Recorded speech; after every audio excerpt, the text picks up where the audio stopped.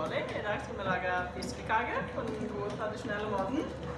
Og nå har jeg satt eh, fisken her til å kjøre sammen med salt for at den lettere skal begynne til seg væske.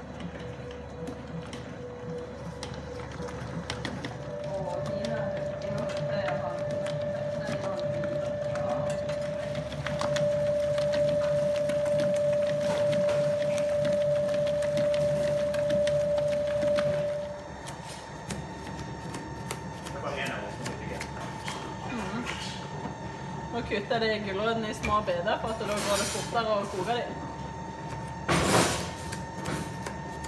Denne her som egentlig er vant med å Det er bare Lene som eh, har vært veldig sånn restaurantkokk. Så da koker de melk.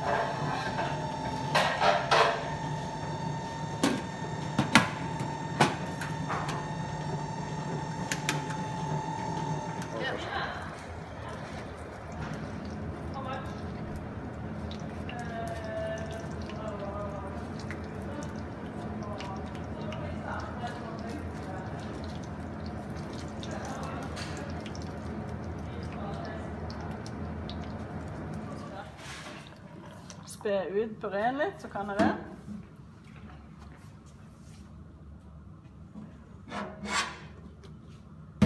Sånn. Har det litt smør oppi. Skal du ha